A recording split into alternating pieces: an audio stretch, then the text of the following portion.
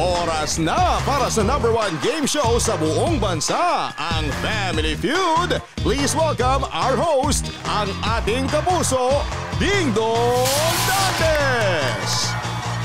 Magandang magandang hapon po. Dalawang pamilya mula sa angkan ng mga artista at ah, ang yung mga team captains nila may may pass daw pala. May hula na. Intriga pa. Saan ka pa? Dito na kayo sa pinakamasayang family game show sa buong mundo, ang Family Feud! Oh yeah! Back to basics tayo mga kapuso. Dalawang pamilya ang maglalaban ngayon at may throwback feels din ito dahil para sa mga kinilig ng mga 80s. Naku, I'm sure maaalala niyo po ito. Ang unang team na related by blood, as in literal, royal blood ng showbiz dahil sobrang bigatin ng mga haligi nila. Please welcome Miss Jackie Lu Blanco and Mamitas Angels. Kami ang mga angels! Sino ang mga devil? Wala kaming binanggit, tama ay huwag magalit! Wow! Oh yeah, let's go Angels!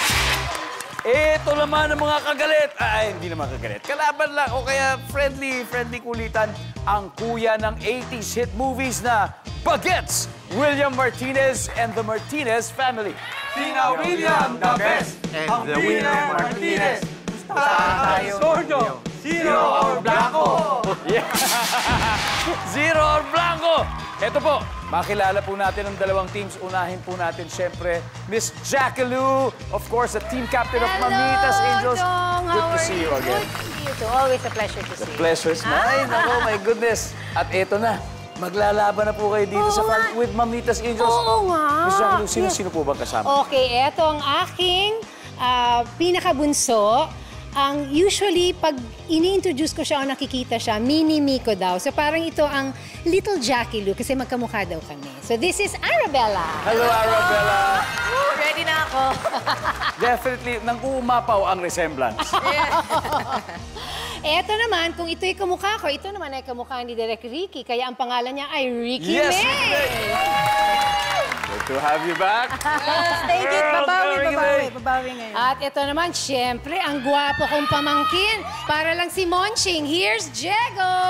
What's up, Diego? Mga kapuso. Diego, medyo nagkakagulo ang buong studio. And Miss Jackie, Yes. nagsama po kayo ni Kuya William nung 80s. And Yes. anong movie nga po kayo nagsama? Um, nagsama kami sa Friends in Love. Friends in Love. Yes, Friends in Love. Ano, uh, what exact year, if you can remember? Basta Friends Love was me, Sharon, Roel, and William. Yeah, mga... Ay, oh! Ay, Ayan po ano ang ba picture yun? natin, oh. Nakakaloko. Meron tayo May- throwback photo, Uy, di grabe ba? naman yan, Kuya no? Parang William, si- Ayan po. Ha, Parang si ayan. Ara lang. Ka- Grabe, alam nyo, napakagandang reunion po nito. Pero bago yan, good luck sa inyo. Thank you! Enjoy, enjoy Yes, the game. we will, Mamitas Angels Yes. at ang makakatapat nyo, ang original Regal Baby, si Kuya William Martinez and the Martinez family. Kuya William. Hello, bro. Hello, sir. Hello, sir. Kuya Kamusta William, ka mabuti po, mabuti po. Masaya po kami nakasama niyo po ang ah, pamilya niyo. Kuya William, sino-sino po ba ang makakasama natin? Kapatid kong bunsong lalaki, si Rani. May, may cousin na Toti.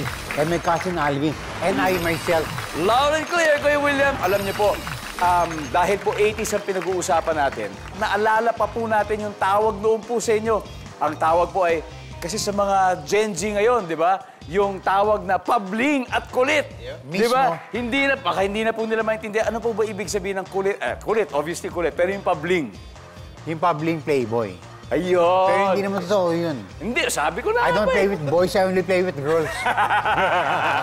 Di ba eh? Good answer, good answer. Ayun, Yun nga yun. So alam niyo na po ibig sabihin nun. Okay, good luck. Here we go. We hope may uh, maka 200,000 today. At aalamin natin po ang sabi ng survey para magkaalaman. So team captains, Miss Jackie Lou. Yes. And Kuya William, let's play Family Feud.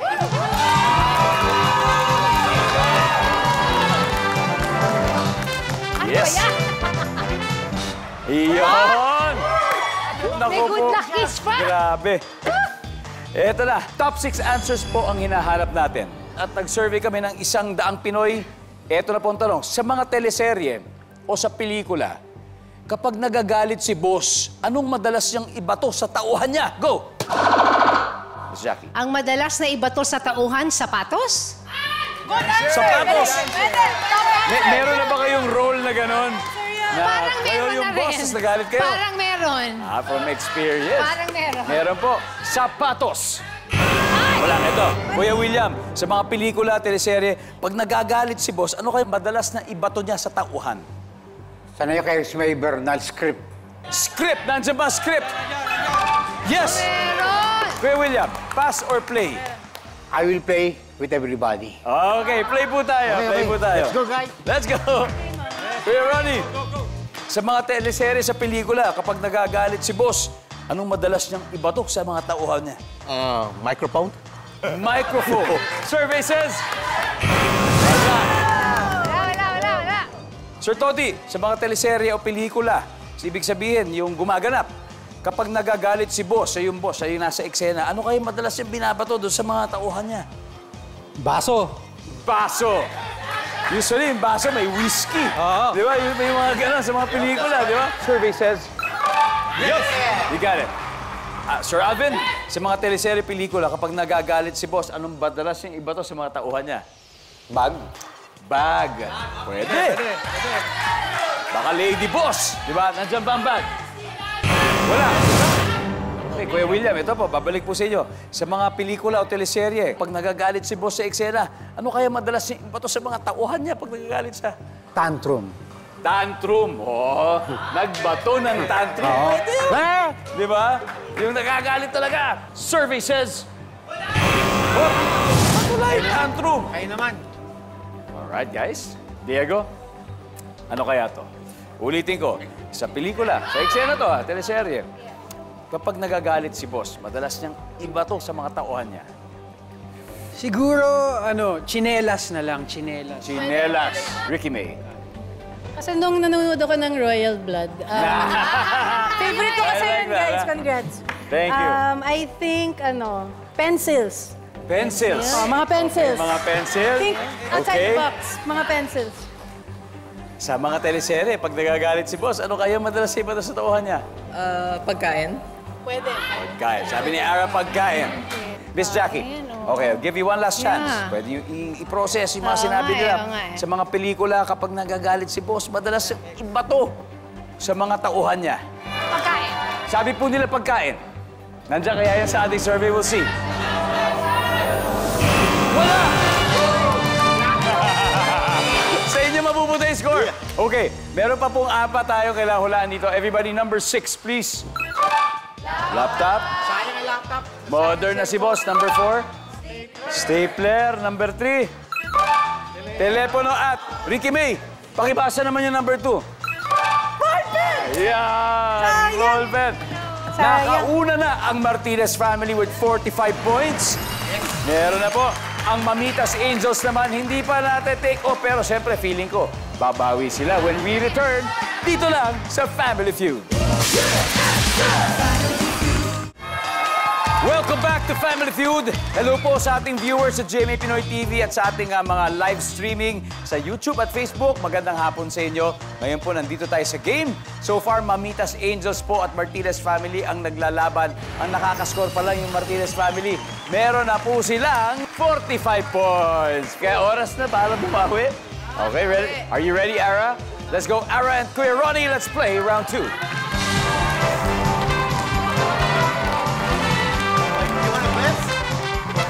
Yun. Si, si Kuya Ronnie po, nag- nagtrabaho po kayo sa, sa Amerika. Yes. And uh, right now, dito na po kayo, bumalik Yes, na po I'm kayo. on uh, retirement. I used to be a correctional officer for uh, federal uh, immigration. Kaya good luck, Kuya Ronnie. Yeah, And it's nice to be here. Yes, sir. It's good to have you. And siyempre, Ara, Hi. you're into acting now. Yes. Oh so, my goodness. nag-workshop na rin. And then, syempre, I have the best mentor, si Mama and Papa. Diba? Diba?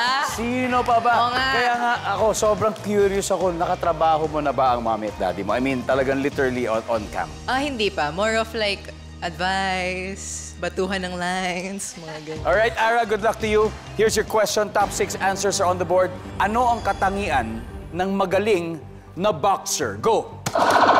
Ara, Masipag. masipag. Hmm, masipag tama, mag-training. Survey says, wala. Kuya Ronnie, ano ang katangian ng magaling na boxer? Mabilis. Mabilis. Mabilis sumuntok. Survey says, mabilis. Pass or play po? Pass. Gonna play or pass? Play, play, play. We're gonna play. You're gonna play. Ara, balik muna tayo. Let's go. Martinez family. Eto, boxing tayo. Kuya Toti, anong katangian ng magaling na boxer? Malakas sumuntok. Malakas sumuntok. Survey says... Nandiyan dyan, nandiyan dyan. Yeah. Number two. Kuya Alvin, anong katangian ng magaling na boxer? Magaling umilag. Magaling umilag. O, magkaiba yun. Di ba? Iba yung mabilis. Baka mabilis sumuntok. Ito naman, magaling umilag. Nandiyan ba yan? Survey. Nandun. Ang galing. Kuya William, ano po ang katangian ng magaling na boxer? Ah, stamina. Sabi ni Kuya William, katangian ng magaling na boxer yung kanyang matinding stamina. Oh! Kuya Ronnie, ano pa kaya? Katangian ng magaling na boxer. Maskulado. Maskuladong pangangatawan. Macho. Survey says... Yep. Oh yeah, oh yeah. Yung Toti, dalawa na lang. Anong katangian ng magaling na boxer? Matangkad. Matangkad. Survey says... Wala. Stand by Mamitas Angels. Eto na, Kuya Alvin. Eto po, katangian ng magaling na boxer. Mahaba ang kamay, yung reach O, niya. ito kanina, matangkad. Ito talaga sabihin natin, mahaba yung reach. Nandiyan ba yan? Survey says, wala. Ano kaya ang hinahanap natin? Diego, katangian ng magaling na boxer. Matalino. Siyempre kailangan, di ba? Matalino, wais, Ricky May. Ah, may disiplinado. Disiplinado. Disiplinado. Matalino, wais, disiplinado. Ara? Healthy.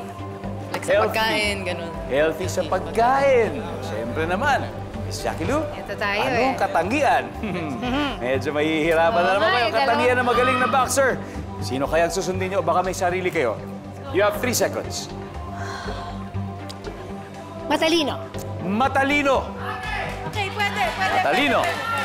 Siyempre, alam niya, wais yan. Kung may strategy kung saan siya susuntok, kailan siya iilag. Nandiyan kaya yung survey.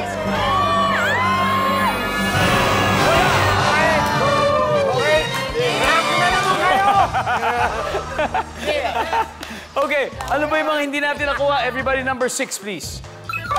Matapang. Number five, mabait. Anyway, knockout na naman ng Martinez family ang Mamitas Angels sa round Okay na ito. May 121 points na sila. Pero may dalawang rounds pa naman tayo at makakabawi pa sila. Meron at meron pa kayong chance, right? Yes! Sige lang! Alright, good luck. Everybody, babalik po kami. Ito ang Family Feud.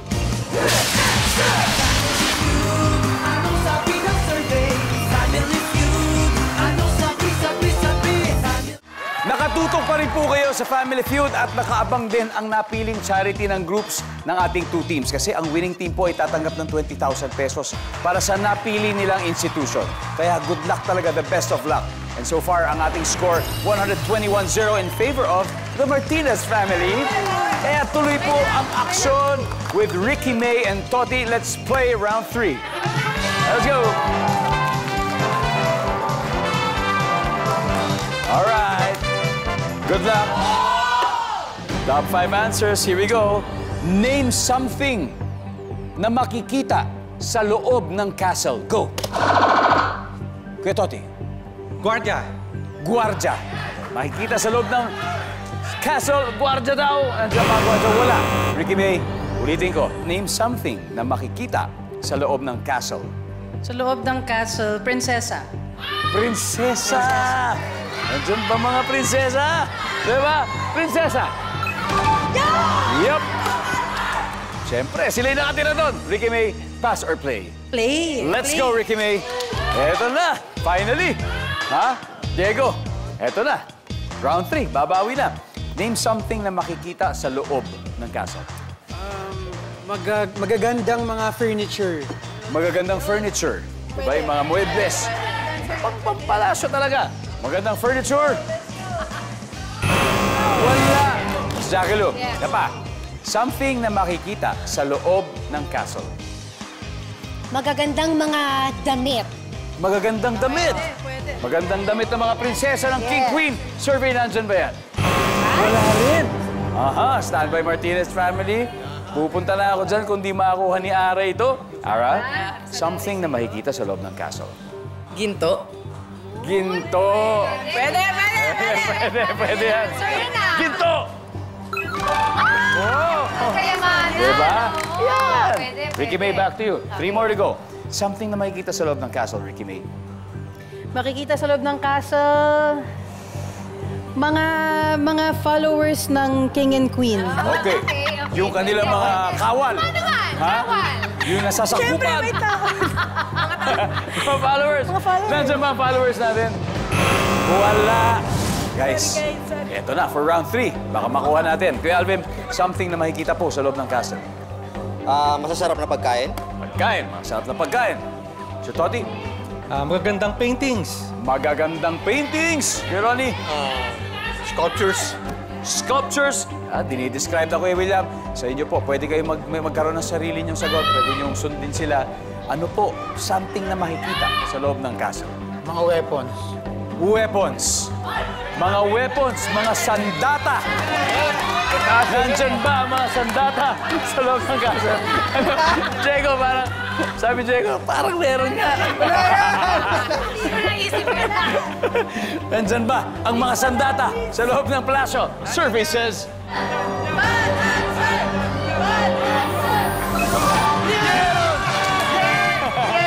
Gadyo! Gadyo! Di ba? Grabe. Di ba ang Ito, castle tignan po natin yung mga na na-miss out na sagot. Number five, please. Corona. Number two. Throne. Napunta ang round na ito sa Martinez family. Meron na po silang 207 points. Kaya in contrast naman, ang Mamitas Angels naman ay wala pang puntos.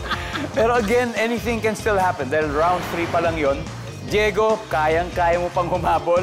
Last round, magkakaalaman na kung sino talagang papasok sa ating Fast Money. Kaya dyan lang po kayo magbabalik ang Family Feud.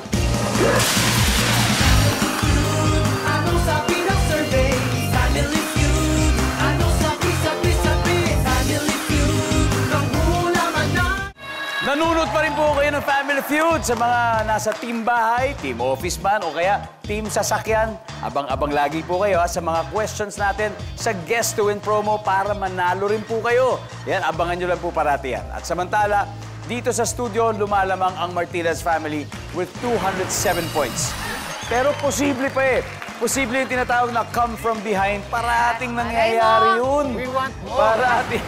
Take it all. Kaya ito na ha. We want more. You want more? Okay, they want more and you want the rest. Last head-to-head battle na ni na Diego and Alvin. Let's play the final round. Come on.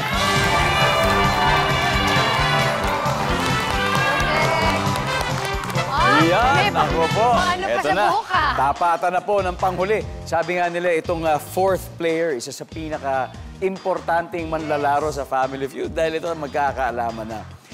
Pero bago lang, Diego, you're also into music. Yes, yes. Di ba? Nagsusulat po ako ng mga kanta. Tsaka Anong type of music ang ah, parati mong mga pinoproduce or parati nasa puso mo? More on R&B tsaka pop, ganyan. Pwede niyong pakinggan yung mga kanta ko sa lahat ng digital streaming. Yeah! Mo na yan. And of course, Kuya Alvin, nasa, ah, you, you have a veterinary clinic naman. Yes, sir. So, kamusta po ba nagpapatakbo ng isang ganun? So far, okay naman dahil ang pet, in, pet industry natin mataas ngayon sa Philippines and Yes. actually all over the world because of the pandemic.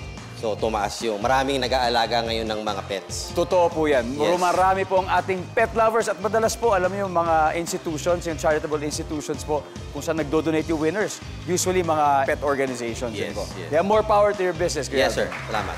And more power, guys. Good luck because this is the last round. And we have four answers left. Ano ang kailangan mo kung maglalaro ka ng basketball? Diego. Bola. Bola! Siyempre, Siyempre, nandiyan ba ang bola? Yeah! Diego, pass or play? Play, play, play. All right, we're gonna play. This is it. Yes! Mahahabol kaya? Yes! Let's do it. Miss Yes. Jackie Lou, anong kailangan mo kung maglalaro ka ng basketball? Player, syempre. The player. Nandiyan ba ang player? Survey says, wala. Ara, ano kailangan mo pag maglalaro ka ng basketball? Rubber shoes. Rubber shoes. Ayan na po, rubber shoes. Yes! Ricky Bay, anong kailangan mo? Ito na, pagganahin niyo na imagine, pa para makapaglaro ka ng basketball. Kailangan niya ng coach. Coach! Nandyan ba ang coach? Wala! Diego, stand by.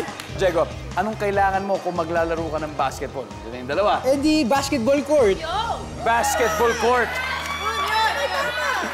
Naglaro ka ba in, in high school, grade school? Yes basketball varsity. Varsity. Right? Tsaka varsity. Professional din po. Professional din. Semi-professional. Yeah, alam na alam ni Diego yan. Survey says... Okay. Nice one, Diego. Hindi naman sa pinipressure ko Oh, kayo. pero nape-pressure na ako eh. Eto na yun. Ay, Isa na lang. Makakuha kaya.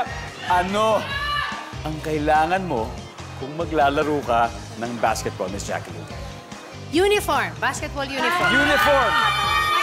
Parang yun yung nasa isip ni Ronnie. there goes my guess. Uniform or jersey. Makuha kaya nila ito for the win. Let's see. Survey says...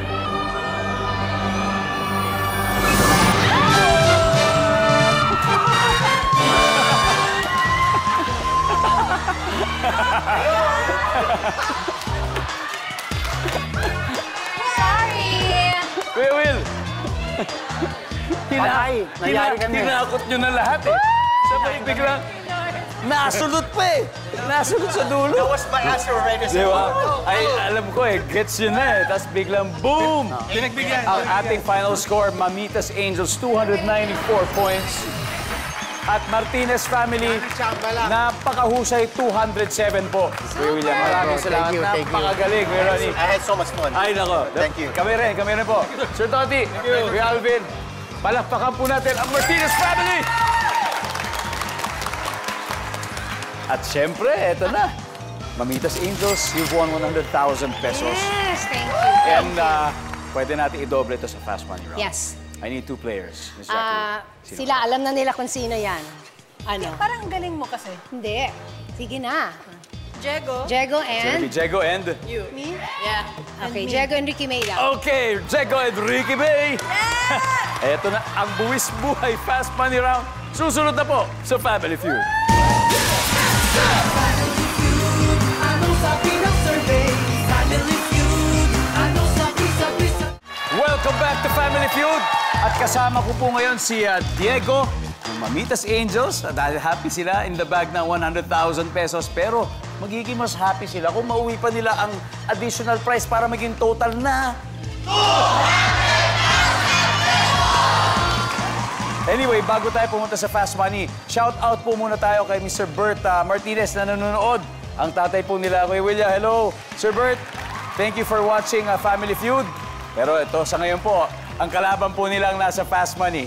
At si Ricky May nasa waiting area sa likod. Hindi po niya tayo naririnig. Diego, are you ready? Ah, oh, ready game. Yeah, you are, you are, you are. Let's go. 20 seconds on the clock, please. Nag-survey kami ng isang daang babae. Only for this uh, first question. Gusto ko makadate ang lalaking may sariling blank. Kotse. Masarap gawin pag malakas ang hangin. Mag-swimming. Inuming madaling makilala ang amoy. Beer. Gamit na madalas malimutan kapag nag iimpake ka. Ah, ID. Pwede pang kainin ang tirang pizza after ilang days. Two days. Okay. Tara, Diego. Eso, Diego. Gusto mo kong makadate ang lalaking may sariling blank. Sabi mo, kotse. Ang sabi ng survey natin dyan ay, Answer yan. Yes! Masarap gawin pag malakas ang hangin. Sabi mo, mag-swimming. Oh, nasubukan mo na, nasubukan mo na siguro mag-swimming na malakas ang hangin. Okay yan. Press ka yan. Says, wala, wala. Inuming madaling makilala ang amoy. Ang sabi mo, beer. Says, Nice! Gamit na madalas malimutan kapag nag iimpake ang sabi mo ID. Says... Wala. Pwede pang kainin ng tirang pizza after ilang days. Sabi mo, two days. Survey? Boom! Nice! Wow! Pwede na, pwede oh na. my goodness! 91 points. Let's welcome back Ricky May. Hi, guys. si Diego ay nakakuha ng 109 points. Right? So that means 91 na lang ang kailangan mo. Okay? At this point, makikita ng viewers sa bahay ang sagot ni Diego. Give me 25 seconds on the clock, please. Nag-survey kami ng isang daang babae. Gusto ko makadate ang lalaki may sariling blank. Pera. Masarap gawin pag malakas ang hangin. Kite flying. Inuming madaling makilala ang amoy. Ah, soda. Gamit na madalas malimutan kapag nag-iimpake. Susi. Pwede pang kainin ang tirang pizza after ilang days. One day. Let's go, Ricky May. This is it. This is your moment. Mamiras Angels. Let's go. Ayon let's sa go. isang daang babae, gusto ko makadate ang lalaki may sariling pera. Hmm. Andiyan kaya yan? Sabi ng survey ay... Okay, ang top answer ay kotse. Nasagot na Diego. Masarap gawin pag malakas ang hangin. Ang sabi mo, mag-kite flying. Nasubukan mo na ba mag-kite flying? Nung bata pa ako. Nung bata, di ba? Masaya nga. Kite flying survey. Yeah! Wow! Top answer! Nice one. Woo! Inuming madaling makilala ang amoy. Ang sabi mo, soda. Services. Ang top answer, ay sa sagot mo, Diego, is beer. That's the top answer. Eto no, gamit na madalas malimutan kapag nag-iimpake, sabi mo, susi. Sabi ng survey natin dyan ay... Uy! Ay, one! Ang top answer ay toothbrush. Ricky May, Ricky May, Ricky okay, May. okay. 14 points. One question away. Okay? Pwede pang kainin ang tirang pizza after ilang days. Ang sabi mo, one day. Miss Jackie, ano ilang araw? Ako feeling ko siguro mga 3 to 4 days pwede pa, basta nasa ref. Okay. Feeling three ko to lang. four days. Feeling ko lang. Pero sabi ni Ricky May, one. One day, let's Tapos go. 14. Malay mo. Sapat or- kaya ito? Let's find out. Ang sabi ng survey sa isa ay... Yes!